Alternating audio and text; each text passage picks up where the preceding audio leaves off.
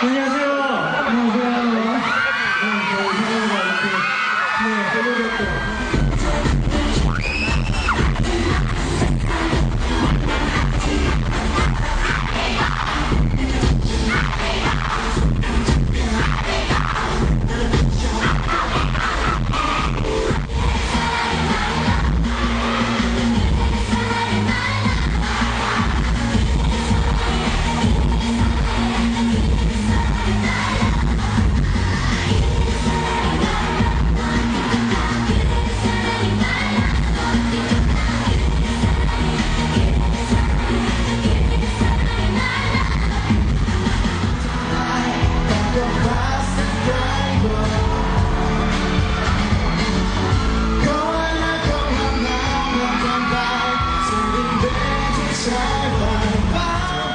한국과 태국 간의 그런 엔터테인먼트 그 엑스포 박람회예요. 그래서 어, 한국과 태국의 그런 또 가수들이 와서 축하 공연을 하는 무대에 또 함께 자리하게 됐습니다.